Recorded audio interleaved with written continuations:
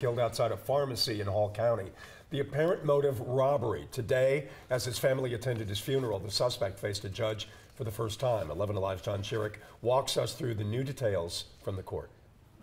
A random armed robbery, police believe, saying that Jack Hough, sitting outside his parked car outside this CVS in Gainesville this past Thursday evening, waiting for his wife, Gail, to pick up a prescription, just happened to catch the eye of a gunman. This man, police say, who wanted Hough's money or car or both and killed him. The suspect, 24 year old DeMarvin Bennett, appearing at a hearing from the jail on video before a Hall County Magistrate Court judge this morning, trying to understand the charges against him. Okay.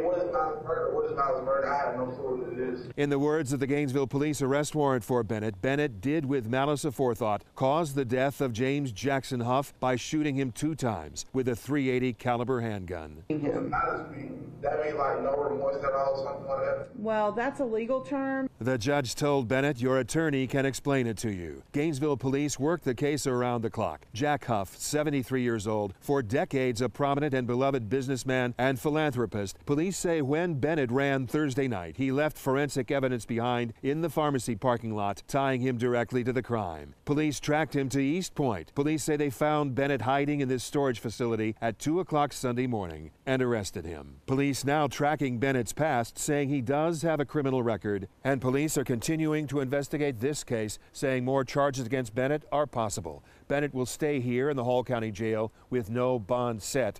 A judge set his preliminary hearing for March 15th.